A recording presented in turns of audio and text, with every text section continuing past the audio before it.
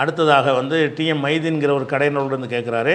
நபிமார்கள் கொல்லப்பட்டதாக குரான் பல இடங்களில் கூறுகிறது. குறிப்பாக எந்த நபியும் கொல்லப்பட்டதாக குரானில் இல்லையேங்கிறார். இல்லை தான். நபிமார்களை கொலை செஞ்சார்கள்னு சொல்லப்பட்டிருக்கே தவிர அந்த கொல்லப்பட்ட நபி இன்னன்னார் என்ற பட்டியலோ அல்லது குறைஞ்சபட்சம் ஒரே ஒரு நபியுடைய பட்டியல் கூட இல்லை. ஒரு நபியை கொள்ள முயற்சி பண்ணாங்க அல்ல அதை காப்பாற்றிக்கிட்டாண்டு ஈசா நபியை பற்றி வருதே தவிர எந்த ஒரு நபியையும் அவர்கள் குறிப்பிட்டு கொன்றதாக குரானில் சொல்லப்படலை தான் அதனால் என்ன உங்களுக்கு இந்த சொல்லப்பட்ட ஆளுக்கு மட்டும் தான் நபியா? குரானில் ஒரு இருபத்தஞ்சு நபிமார்கள் சொல்லப்பட்டுச்சுன்னு சொன்னால் சொல்லப்படாத பல்லாயிரம் நபிமார்கள் எல்லாம் அனுப்பியிருக்கிறான். அவங்கள கொண்டிருப்பாங்க அது நமக்கு சொல்லப்படலை. சொல்லப்படலாட்ட நம்ம என்ன செய்யணும்? அந்த மாதிரி நபிமார்களும் கொலை பண்ணியிருக்கிறாங்க என்று நம்பணும் அவ்வளோதான்